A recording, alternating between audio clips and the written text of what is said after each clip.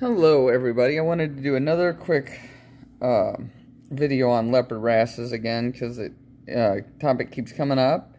So, I am going to talk about my leopards. There's one here. I have three blue stars, a meleagris, and a uh, Moyers. So, there's two of them there and then there's a little one right there. Um, and of course, I got them at different times. So, a couple of things I want to touch on today is um, again, you cannot stress enough. I would never recommend buying any leopard wrasse online. It's always better to buy them at your fish store if possible.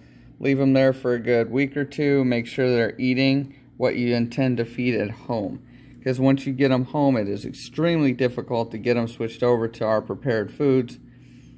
Um, you know, if you're not, uh, you know, if they're not going to eat for you in the store, chances are 90% of the time when you get them home, they're not going to eat. There's my big meleagris back there.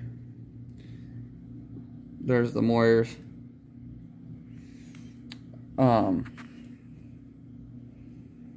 so, and they like seaweed like all the, the rest of my fish do. So it's kind of odd.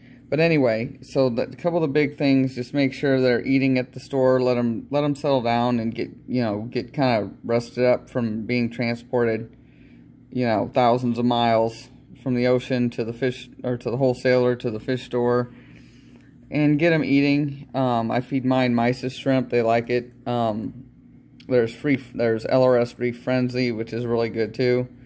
But some of the definitely um, you want to make sure and uh, get them eating as soon as possible, as soon as you get them home.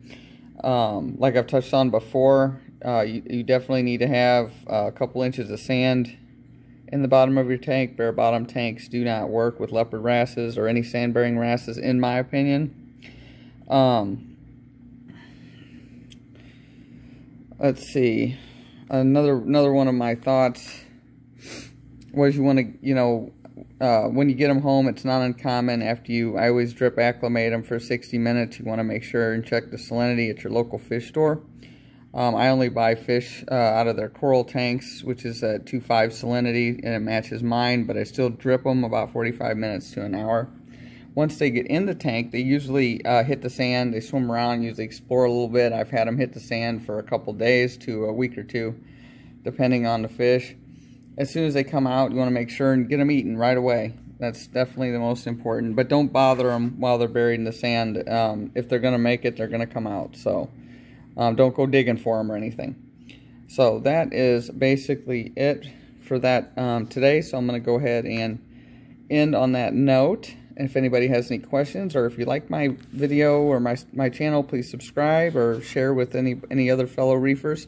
Happy reefing and thanks for watching.